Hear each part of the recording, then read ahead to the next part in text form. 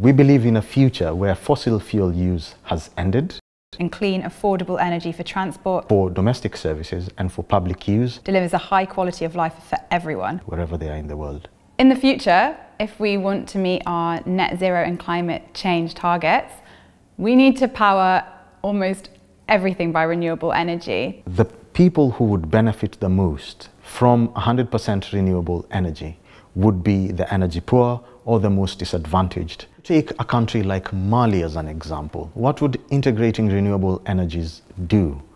It would be absolutely revolutionary to how they live their lives. They would have access to public services and they would have access to services at home like cooling, like heating, like sanitation, access to water. You're not going to have kind of premature deaths from using cooking fuel inside the home. It would mean they would have light bulbs, they would have access to things like electricity and the internet.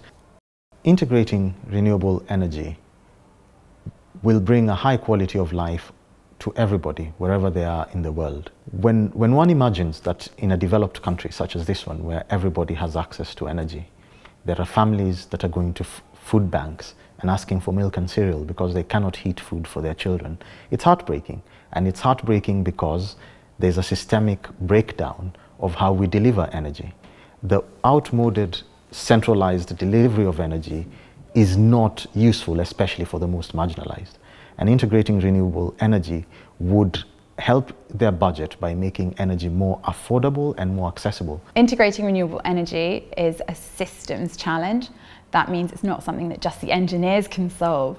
We also need to understand the policies, we need to understand the economics, and we need to understand how people and society engage with this transition. The Oxford Martin programme on integrating renewable energy has achieved a lot in getting to that future.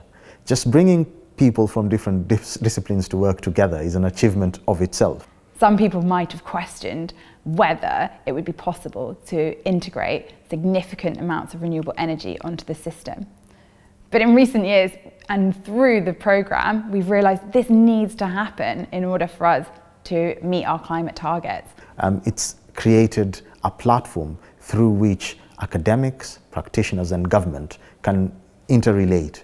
And this affects the kind of policy, uh, the kind of law and the kind of implementation that happens, not just in this country but abroad. The Zero Institute is taking the research from integrating renewable energy forwards and showing the pathways that this can actually be achieved through.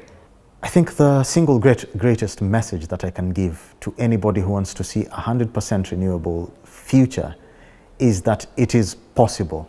It is absolutely possible to make this happen. All the barriers that are there are not insurmountable. And nobody should feel that they're too small to make a difference. We can influence our friends, our family, people we work with. As much as you draw breath, you have a role. Whichever milieu you, you operate in, whatever you do. And just by having conversations about, oh, I've switched to a renewable energy supply, or oh, I'm thinking about getting an electric car and this is how I'm going to do it, that knock on effect can be significant. If you have access to the internet, you can research about it, you can tweet about it.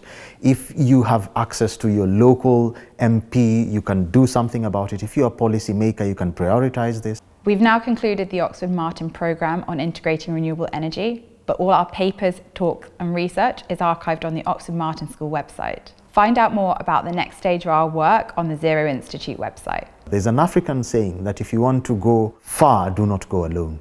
Together, we will make this a reality.